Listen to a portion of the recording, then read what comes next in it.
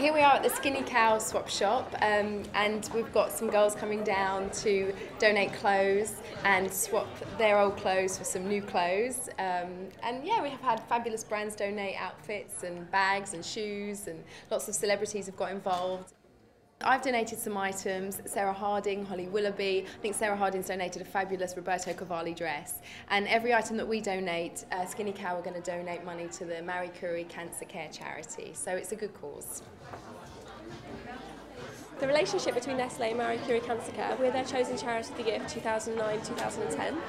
The staff up and down the country are hoping to raise £250,000 for us, which will fund 12,500 hours of nursing care. The support from Skinny Cow and the Swap Shop is going towards that campaign.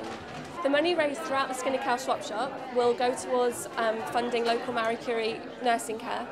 Every £20 um, that we're able to raise through the campaign will pay for an hour of care. I've just gone on a mad grab. Um, I like this one, maybe for work. Um, this one's pretty cool. Um, I think it's quite sort of Sex in the City. Um, love this one, absolutely love the colour.